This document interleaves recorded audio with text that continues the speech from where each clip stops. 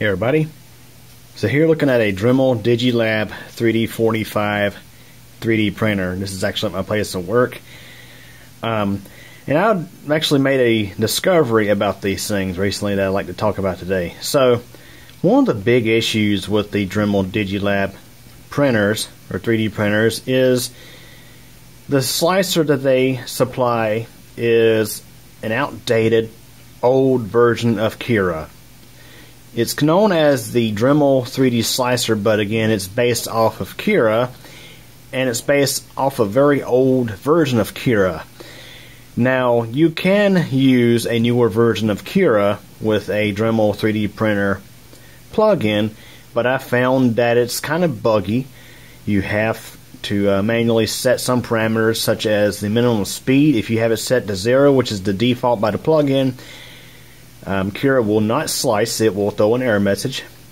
And another issue I found with Cura is it's just not the greatest with supports. Um, upstairs, we have a whole fleet of FlashForge Adventure 3 V2 3D printers.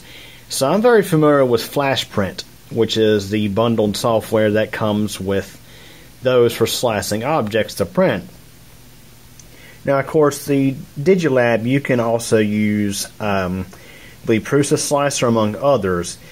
And the Digilab 3D printer, one of the features that it, that it has is the ability to interpret G code from multiple slicers. Um, for example, it can use .g, .g code, and of course um, .g3 DRM.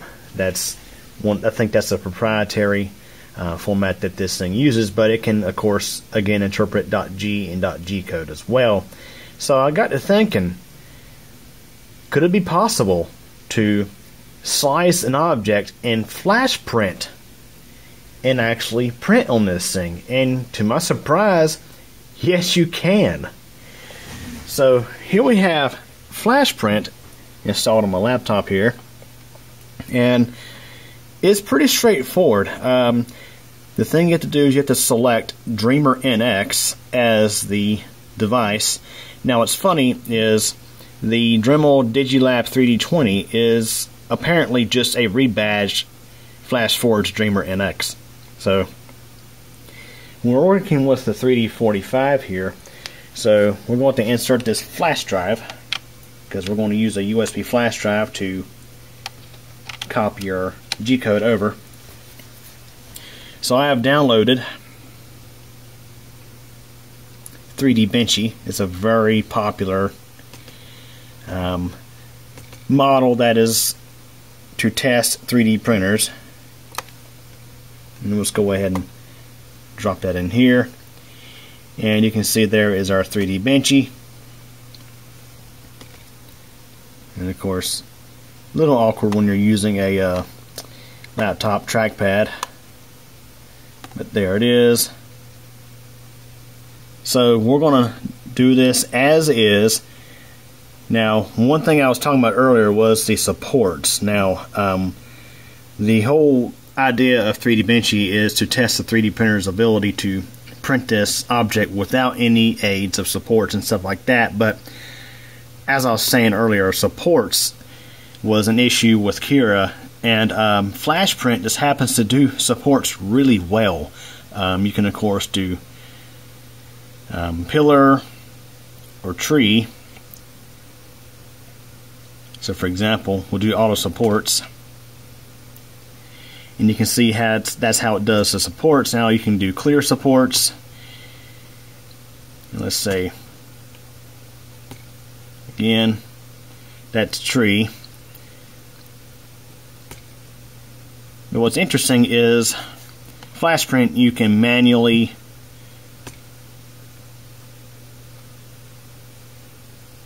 add supports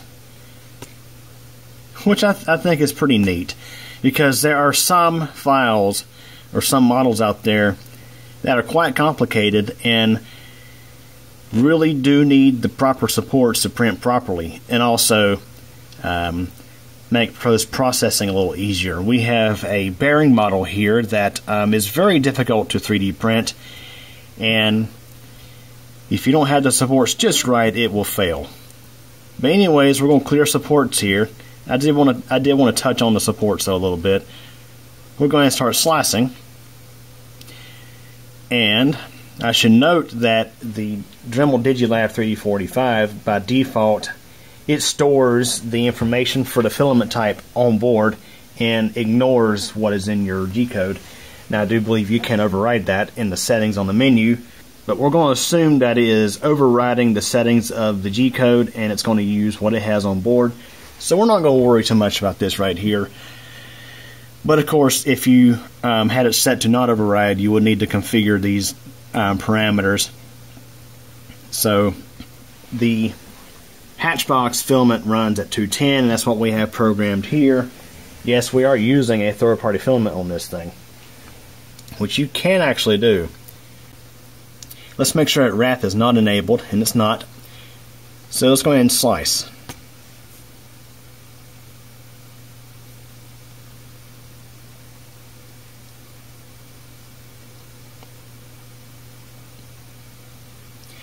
Now we can do a slice preview.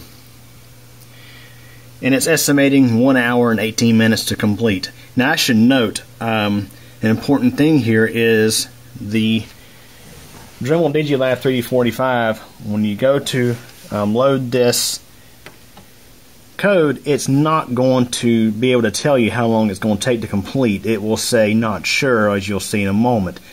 But from my findings, it's relatively close, the time it takes to actually complete the model.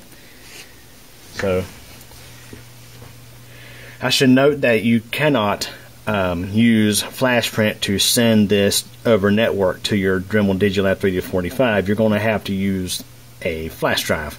So we're going to have to choose this option here to save the local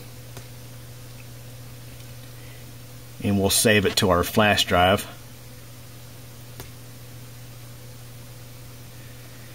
And you need to make sure you change from .gx to .g or .g code and we'll select save. So now the file is saved on our flash drive. Let's go ahead and remove the flash drive and insert it into the 3D printer. Okay, let's go and insert our flash drive here. And we'll tap build. We'll select our flash drive. And you can see there is 3D Benchy. So we'll select 3D Benchy. And you can see right there it says not sure. So you can see that is using its onboard settings for the filament that we have in there, which is PLA, 210 degrees C for the nozzle, and we have it set to 50 degrees C for the platform. So we'll go ahead and tap build. And it's going to copy the file over and get started.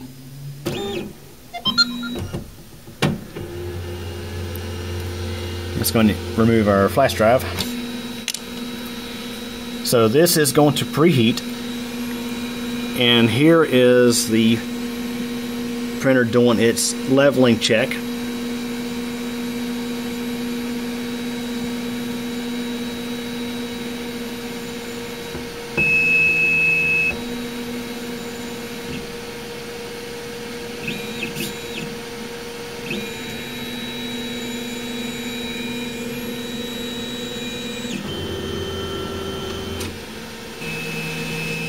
Okay, it is preheated and about, about to start printing. And I should note that um, it literally does not tell you how much time it will take to complete. It will only show how much time has elapsed. And you can see this graph will slowly work its way around. So the reason why it cannot tell you the exact um, time is it really just does not know because it's having to sort of interpret um, code from a different slicer than what it's used to. But we'll give it a few moments and we'll start to see some layers show up here. Okay, we are seven minutes in and you can see our 3D Benchy is starting to come together. So we are currently 30 minutes into our 3D Benchy, and this is how things are looking so far.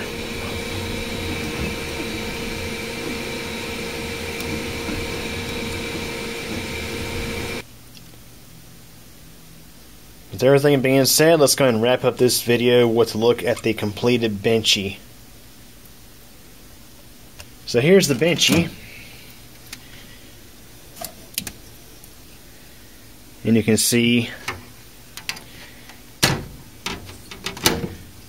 I'd say for the most part it turned out pretty decent. Now the bottom you can't really make out the logo because this thing it um, I think like the first or second layer didn't really print because I think the nozzle was so close to the base so that would probably be adjusted. But I mean otherwise not too bad. So let's get a closer look at it here. So here's a closer look at the Benchy.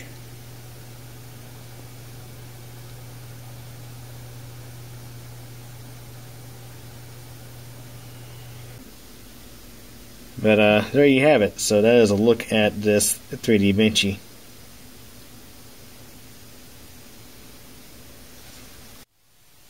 Hey everybody. Thanks for taking the time to watch this video from Kuku channel. If this is your first time, please subscribe to the channel and be sure to tick the bell so we get notified a new video posts.